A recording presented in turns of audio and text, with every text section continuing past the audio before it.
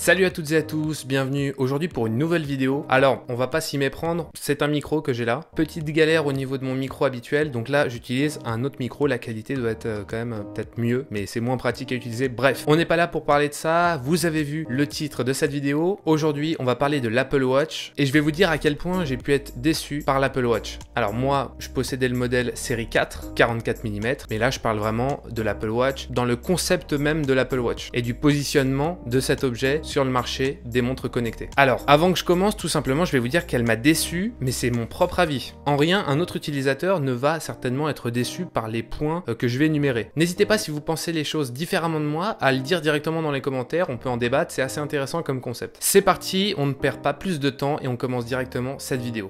Alors oui, j'ai été déçu de l'Apple Watch. Tellement déçu que je m'en suis séparé après seulement 6 mois d'utilisation. Ne vous en faites pas, je l'ai revendu, je ne l'ai pas jeté à la poubelle pour autant. Et dans cette vidéo, je vais énumérer certains arguments qui ont fait que, au fur et à mesure de mes usages de la montre, je me suis dit, mais en fait, euh, je pense qu'elle n'est pas faite pour moi. On commence tout simplement euh, par le premier point qui m'a déçu. C'est une montre connectée qui est, selon moi, faite pour les sportifs du dimanche. Alors, j'ai absolument rien euh, contre ceux qui font du sport le dimanche.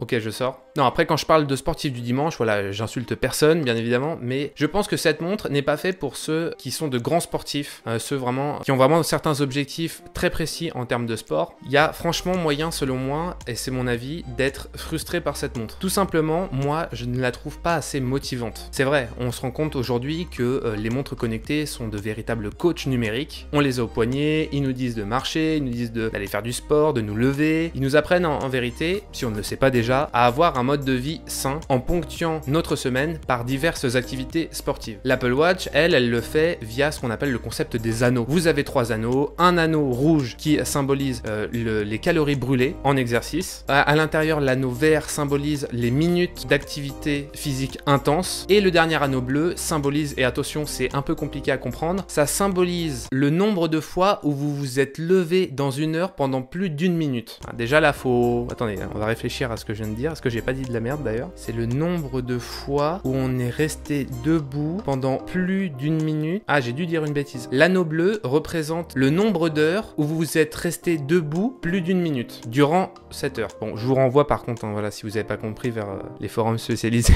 parce que c'est vrai que c'est pas évident à, comprendre et à faire comprendre aux autres quand on explique la fonctionnalité. Bref, voilà, ce système des anneaux, je le trouve bah, pas assez euh, complet, pas assez motivant. J'ai même été assez surpris euh, par le nombre de calories que je brûlais sans pour autant faire énormément d'exercices dans la journée. Donc je complétais assez rapidement cet anneau rouge. Il faut bien mentionner que ce sont normalement les calories brûlées en activité, donc pas les calories brûlées au repos. J'avais l'impression que les mesures n'étaient pas forcément très cohérentes. Également au niveau des statistiques. Oui, je trouve que cette montre ne met pas assez en avant les statistiques euh, dans les différents sports qu'on peut pratiquer. C'est toujours sympa d'avoir un maximum de stats pour essayer de s'améliorer au fur et à mesure de nos exercices physiques. Et là pour le coup, j'ai encore une fois été déçu par la montre. Euh, quand je vois ce que fait par exemple la concurrence quand on regarde les montres connectées euh, Garmin, parce que oui, du coup j'ai changé de montre, j'ai pris une Garmin, mais bon ça on en reparlera, et eh ben je vois tout simplement que euh, les statistiques sont beaucoup plus détaillées sur la Garmin, et il y a vraiment possibilité voilà, de scruter pas à pas les différentes statistiques, et de pouvoir voir là où on s'améliore, là où on régresse, enfin vraiment voilà, il y a cet aspect statistique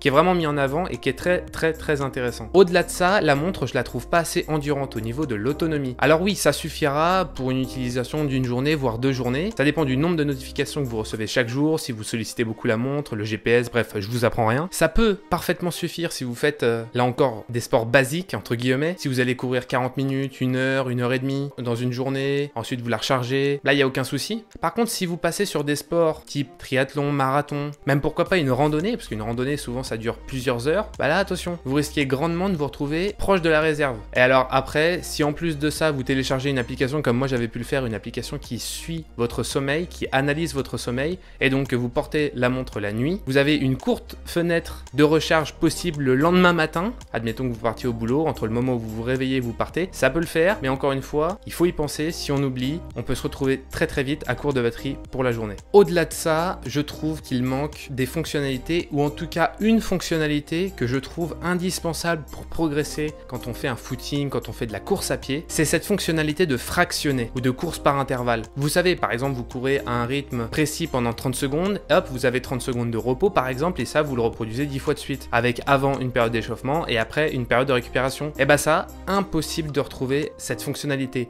Je parle pas forcément de l'application native, hein, qui peut ne pas être totalement complète, mais même certaines applications que vous allez retrouver sur l'App Store dédiées à l'Apple Watch, bah vous ne trouverez pas cette fonctionnalité. En tout cas, moi, je ne l'ai pas trouvé. Je me suis même baladé sur des forums. Les gens se disaient, mais c'est pas possible d'avoir une montre qui est faite quand même pour des sports, dont le running, et on retrouve pas cette fonctionnalité de fractionner. Assez dingue. Et c'est vrai que moi, elle me manque parce que voilà, encore une fois, si on achète ce genre d'objet, c'est voilà, c'est qu'on a envie, pourquoi pas, de progresser. Et progresser sans ce type de fonctionnalité, bah, ça me paraît un peu compliqué. Encore une fois, ça reste mon avis. Voilà ce que j'ai relevé. Voilà vraiment ce qui m'a déçu sur cette Apple Watch. Bien évidemment, c'est mon avis. Si vous, vous avez par exemple acheté euh, cette montre connectée plus pour l'aspect connecté que pour l'aspect sportif, là je suis tout à fait d'accord avec vous, l'Apple Watch est selon moi la meilleure montre connectée du moment. Vous avez la possibilité de recevoir pas mal de notifications avec cette fameuse euh, petite fonctionnalité qui est arrivée avec WatchOS 5 qui est le Talkie-Walkie. Enfin ça c'est super pratique si vous avez un pote par exemple qui a une Apple Watch. Bah là euh, voilà vous pouvez discuter, euh, c'est vraiment super sympa comme fonctionnalité. Elle a des fonctionnalités connectées super avancées, très agréables à utiliser sans souci. Par contre pour l'aspect sportif c'est là où je dis voilà elle est pas faite selon moi pour les vrais sportifs, ceux qui veulent aller plus loin que faire un footing. Après voilà, si vous faites un footing, vous êtes un sportif, hein, il n'y a pas de problème. Enfin,